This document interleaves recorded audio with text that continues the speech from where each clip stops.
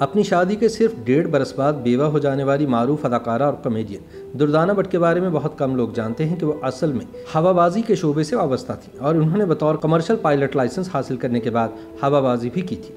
दुर्दाना भट्ट की पहचान तो सिल्वर स्क्रीन थी, लेकिन पस मंज़र में वो एक उस्ताद थी।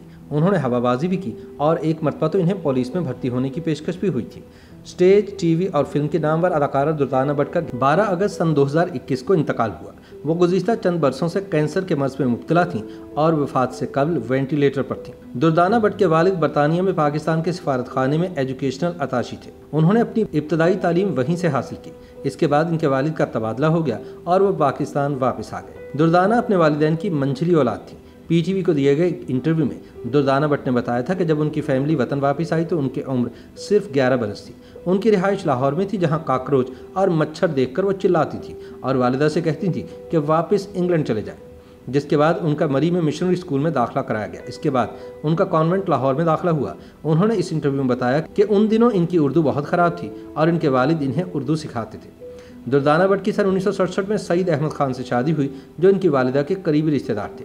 दुर्दाना भट्ट बताती थी कि सन उन्नीस सौ पैंसठ की जंग में वालिदा ने फैसला किया था कि जंग चल रही है। कहीं बम हम पर गिरे और हम मर जाएँ, लिहाजा शादी कर लो। इस तरह उनकी शादी हो गई, लेकिन डेढ़ साल बाद इनके शौहर इंतकाल कर गए। दुर्दाना की वालिदा की ख्वाहिश थी कि वो दोबारा शादी करें, लेकिन दुर्दाना ने अपने वालिद को बताया कि वो पढ़ना चाहती हैं। इस तरह उन्होंने कॉलेज से ग्रेजुएशन की और वहाँ स्टेट ड्रामा में भी हिस्सा लेना शुरू कर दिया। इसके बाद वो फ्रांस चली गई, जहाँ फ्रेंच में डिप्लोमा हासिल किया और वापस आकर एक निजी स्कूल में वक्ती तौर पर, पीजी टीचर के तौर पर मुलाजमत इख्तियार कर ली। दुर्दाना भट्ट का कहना था कि उन्होंने छह माह लाहौर की सड़कों पर मोटरसाइकिल भी चलाई थी। इसके अलावा छत्तीस घंटे बतौर कमर्शियल पायलट हवाबाजी भी की। लेकिन बसारत की कमज़ोरी की वजह से इसको जारी न रख सकें। उन्हें एक बार पुलिस में इंस्पेक्टर बनने की पेशकश भी हुई थी, क्योंकि वह जोडो कराटे और आतिशी असलहे का इस्तेमाल जानती थी, लेकिन उन्होंने इनकार कर दिया। दुर्दाना भट्ट ने अदाकारी के साथ साथ दरसो तदरीस को भी जारी रखा। उन्होंने स्पेन से एजुकेशन एडमिनिस्ट्रेशन में पीएचडी की डिग्री हासिल की और वीकन हाउस स्कूल के साथ मुंसलिक रहीं और इस सिलसिले में वो कराची मुंतकिल हो गई थी।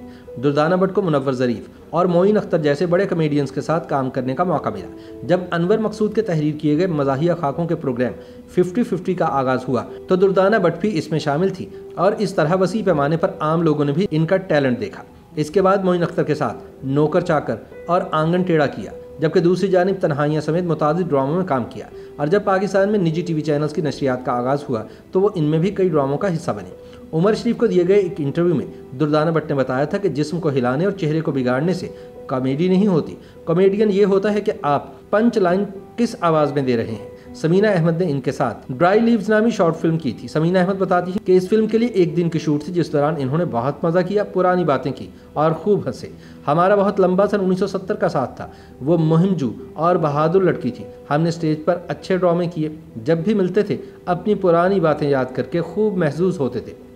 पीटीवी के सबक प्रोड्यूसर इकबाल लतीफ़ कहते हैं कि उनके बनाए गए 80 फ़ीसद मजाहिया ड्रामों में दुर्दाना भट्ट ने ही काम किया। वो कहते हैं कि मैंने बॉलीवुड में भी कुछ काम किया। हमें सिखाया गया था कि फ़नकार के बारे में नहीं, बल्कि किरदार के बारे में सोचिए। जैसे ही मेरे सामने स्क्रिप्ट आता तो किरदार चीख चीख कर बोलता कि ये फ़लाँ आर्टिस्ट का हक है। आजकल आर्टिस्ट कमर्शल बुनियादों पर चुने जाते हैं। इकबाल लतीफ़ कहते हैं कि जब सन 1978 में उनका लाहौर तबादला हुआ तो वहाँ उनकी दुर्दाना भट्ट से मुलाकात हुई। बहुत ही शानदार खातून थी। उनका इंतकाल इंडस्ट्री के लिए बहुत बड़ा नुकसान है। वो बताते हैं कि मैंने जब स्टेज के फनकारों जेबा शहनाज, गजाला और दीगर को टीवी पर मुतारफ़ कराया तो वो इनकी उस्ताद होती थी, इन्हें सिखाती थी। YouTube पर गूगली न्यूज़ देखने के लिए YouTube.com की सर्च बार में गूगली न्यूज़ टीवी टाइप करें। गूगली न्यूज़ के पेज पर सुर्ख रंग के सब्सक्रिप्शन वाले बटन पर क्लिक करना ना भूलिए। YouTube पेज पर अपलोड होने वाली वीडियो से बाखबर रहने के लिए बेल आइकन पर क्लिक कीजिए। आपको हर नई वीडियो के बारे में नोटिफिकेशन मौसू हो जाएगा।